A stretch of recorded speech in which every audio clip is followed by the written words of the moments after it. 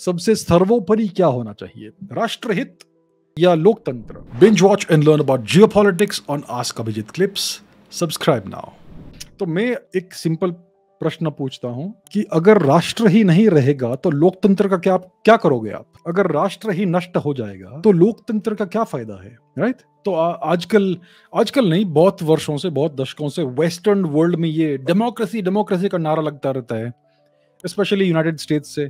कि हर जगह डेमोक्रेसी होना चाहिए। डेमोक्रेसी इज़ वेरी इंपॉर्टेंट हर जगह डेमोक्रेसी डालो। तो डेमोक्रेसी उनका जो है, वो बड़ा अजीब डेमोक्रेसी है। अगर आप ऑथोरिटेरियन देश को देखेंगे, जो जहाँ पर डिक्टेटरशिप है, जैसे कि चाइना या नॉर्थ कोरिया तो वहाँ पर वन पार्टी रूल है राइट चाइना में एक ही पार्टी है, एक ही पॉलिटिकल पार्टी अलाउड है।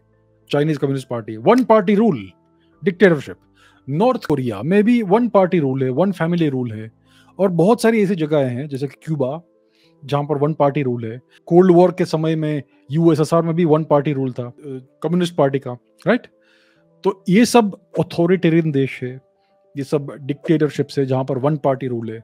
और वन पार्टी रूल का अगर आप एक स्टेप ऊपर जाएँगे तो टू पार्टी रूल आता है। तो इसका सबसे फ़ेमस उदाहरण है यूनाइटेड स्टेट्स जो एक टू पार्टी रिजीम है टू पार्टी स्टेट इसको आप डेमोक्रेसी कहते हैं, आपको दो ही ऑप्शन दिए जाते हैं।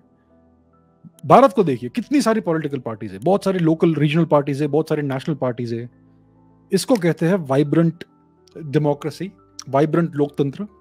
यूएस में हर चीज़ को दो पार्टियों में फिट करना पड़ता है हमें। तो मैं यूनाइटेड स्टेट्स को एक प्रॉपर डेमोक्रेसी नहीं मानता हूँ। ये भी एक अथॉरिटेरियन स्टेट है, जो दिखता नहीं है अधिकतर लोगों को। तो और ये लोग डेमोक्रेसी डेमोक्रेसी का नारा लगाते रहते हैं हर जगह। और ये डेमोक्रेटिक डेमोक्रेसीज का रैंकिंग्स भी इशू करते हैं। या तो यूएस करता है या फिर उनके कुछ पपेट स्टेट्स इशू करते हैं।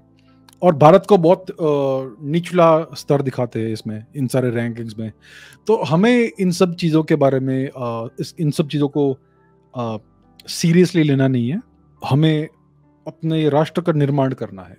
सबसे महत्वपूर्ण बात यही है कि राष्ट्र का निर्माण हो, राष्ट्र प्रॉस्परस हो तो राष्ट्र को मज़बूत बनाना है, राष्ट्र को पावरफुल बनाना है इकोनॉमिकली और मिलिट्रली ये सबसे महत्वपूर्ण बात है। और भारत में डेमोक्रेसी है ही तो प्रश्न क्यों उठता है कि डेमोक्रेसी इंपॉर्टेंट है या नहीं? डेमोक्रेसी है भारत में।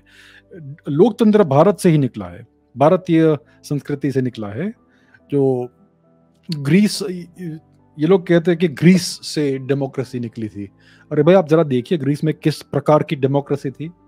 सिर्फ़ पुरुष वोट कर सकते थे और सिर्फ़ rich males land owning males aristocracy जो नोबल नोबिलिटी नोबल कास्ट जो होता है, उनके ही पुरुष वोट कर सकते थे।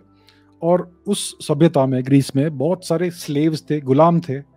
जिस सभ्यता में आपके गुलामी चलती है, उसको आप डेमोक्रेसी कैसे कह सकते हैं राइट भारत में कभी ये नहीं था और ग्रीस ग्रीस का जन्म हुआ उससे कई हज़ार वर्ष पहले भारत में लोकतंत्र था। तो भारत को जो क्रिटिसाइज करते हैं वो आपको इसेंशुअली मिसलीड करना चाहते हैं। और आप उनकी बात मत सुनिए।